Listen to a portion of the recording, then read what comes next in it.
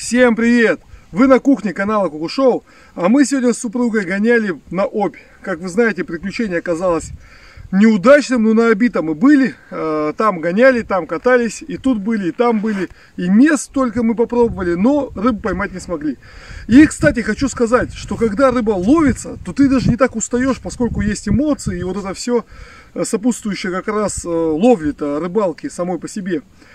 А вот когда ты не ловишь, блин, выматываешься капитально, потому что пробуешь места, пробуешь какие-то берега, тут, там, оказывается еще и неудача, которая нас постигла, мы потеряли подсак, довольно дорогой, профессиональный.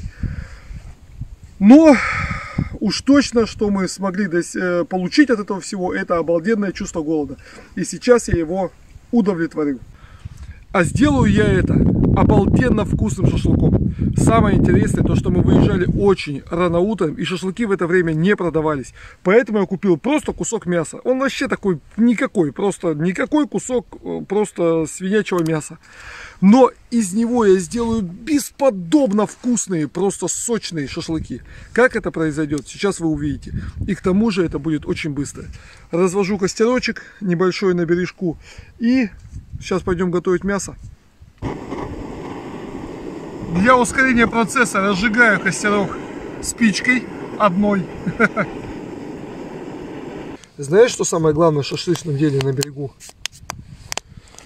Песок, чтобы мясо не попал? Да. Ну пошли мясо колотить. Подходи, налетай, шашлык разбирай. Чисто случайно я взял с собой молоточек для отбивания. Если его нету, подойдет по-настоящему другой любой молоточек, э, топор, либо можно сорвать ветку, а снять с нее кору и точно так же ей долбить. Но мне повезло, у меня есть молоточек. Так, кусок мяса. Как я и говорил, просто обычный кусок мяса. Что мы с ним делаем? Мы его сейчас развернем, чтобы он был тонкий и здоровенный, как блин. Для этого берем филейный острый ножик, но можно и вот таким вот охотничьим. Просто для ускорения процесса, потому что он есть. Значит, как мы его раскрываем? Смотрим внимательно. У меня попался вот такой плоскодон. Смотрите, он уже тут напрашивается прям. Значит, берем мы этот плоскодон вот так вот. И давайте в выборочном месте, где будет? Ну, давай вот тут вот. И режем поперек. Но не прорезаем до конца. Во, смотрите. Вот теперь это большой шмат, цельный шмат мяса. Так, в моем случае у меня есть еще возможность его еще раскрыть.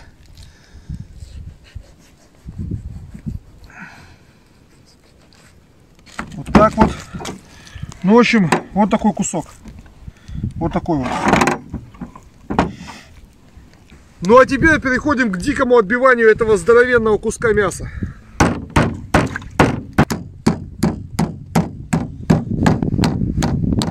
Понимаете, когда мясо маринуем, мы пытаемся же сделать его более мягким, более нежным. В нашем случае, поскольку у меня просто кусок мяса, и я его сразу буду готовить, у меня такой возможности нет. Соответственно, я и отбиваю для того, чтобы мясо придать нежность, разбить его волокна, тогда он будет более вкусный. Кстати, еще э, для чего маринуется мясо? Чтобы оно пропиталось специями. В нашем случае, опять же, мы не можем этого достичь, поскольку ограничены во времени. Поэтому мы специи сюда э, добавим прям вовнутрь. Так, достаем специи. Солька. И, конечно же, черный перец.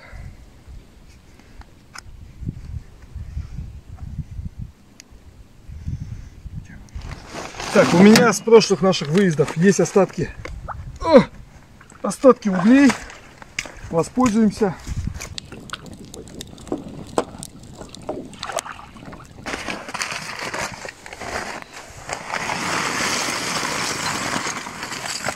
Обожгем решетку.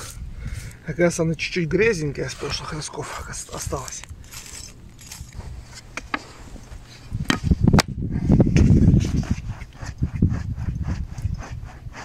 Решетка обжигается.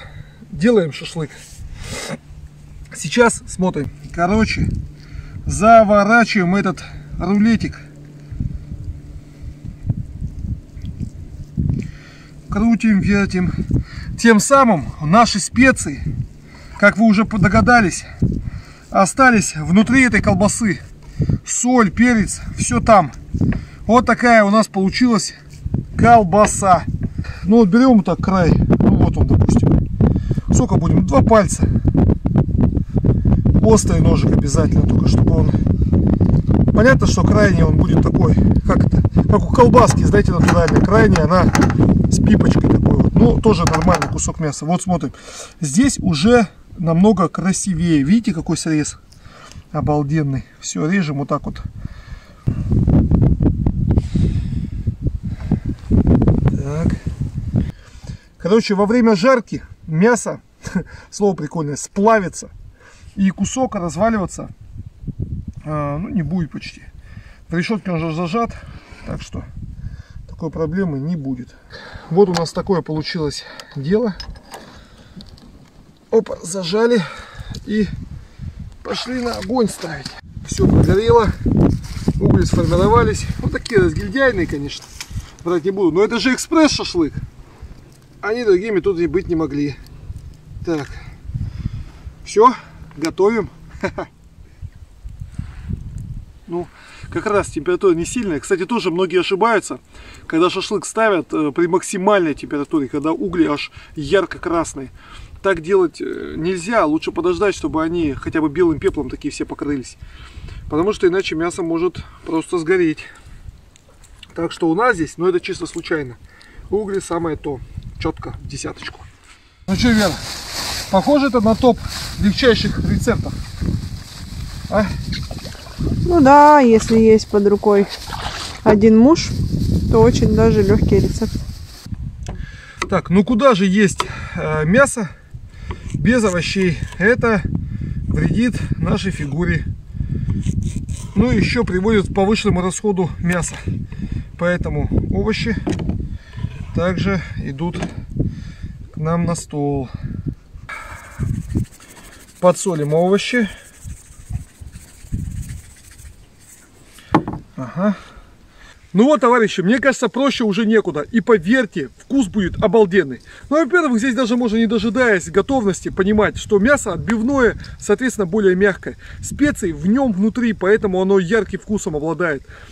Э, сейчас мы, конечно, доготовим, вы сами все увидите, но это, блин, а что увидите? Как мы будем прицокивать языком?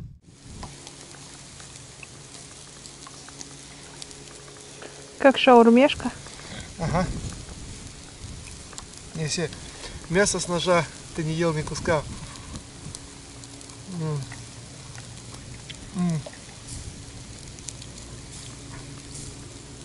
Это лишнее. Ой. Я предлагаю середину выложить вот эти вот 4 куска и уже начать лопать. А эти сместить в середине и поставить обратно. Действуем. Да, кстати, вот увидите начинку моей походной сумки. Кстати, точно, давай похвастаюсь. Походная сумка. Это должна быть небольшая сумка, потому что, чтобы не было э, искушения набрать очень много всего ненужного. И здесь все должно быть компактно. Вилки, ножики, соль, перец оттуда, рюмки набор, пару стаканов, пару кружек. И вот такой набор посуды, который прям может всех удовлетворить. Сахар, 4 миски железных, две миски большие железные, которые еще и с крышками. На случай того, если ты что-то захотел забрать домой. Вот мы в них и будем выкладывать, потому что навряд ли мы прям все слопаем. Как я и говорил, куски склеились. Видите, этот кусок даже не захотел разваливаться. Думаю, что он настоящий кусок мяса. Видите? Смотрите. То есть нет проблемы, что типа эти улитки разложатся. Нет. Смотрите, видите, куски я сдвигаю, они реально вверх. Ну согласись, да? Как будто он и был ну, настоящим куском прям цельным. Заметь, ни один кусок не попытался развернуться или что-то там сбежать. Все куски, как у себя дома. Все, ставим это обратно. Опа, все. Это пусть, пусть доготавливается. Мы пошли пробовать. Берем вилочку, берем ножик. Раз. Повторюсь еще раз, куски не будут разваливаться, не будут думать, что они цельные куски. Поэтому видите, Не хочу просто давить в тарелке, царапать ее. Вон все прожарено. Ох. Ой, вы, как вкусно.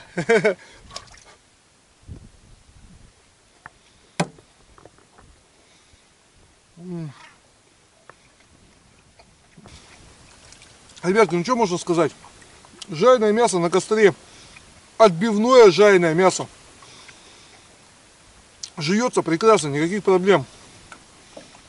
Вкус обалденный. Единственное, соли можно было добавить чуть больше. Ну, сами понимаете, тут чуть на глаз. Плюс никто не мешает добавить соус. Готовый уже шашлык. Сейчас добавить там, достать майонезик или острый какой-нибудь перчик, ну соус. И это все скрасить. Короче, вот вам рецепт обалденного, простого, вкусного блюда. Самое главное, повторюсь, если вот так вот не получается купить готовый шашлык, или просто, если хотите удивить, вот вам вариант. Скажу сразу, мясо можно сделать еще тоньше, отбить вообще до состояния, знаете, лепешки. Потом свернуть эту лепешку, и тогда будет просто оно ну, на губах таять. Ну, что на этом можно еще добавить? Наверное, все. Сейчас перекусим. Если хватит сил, еще чуть попробуем порыбачить. Но это для другого видео, которое будет на канале Кула Шоу. А на этом канале у нас только мужичайшая походная кухня.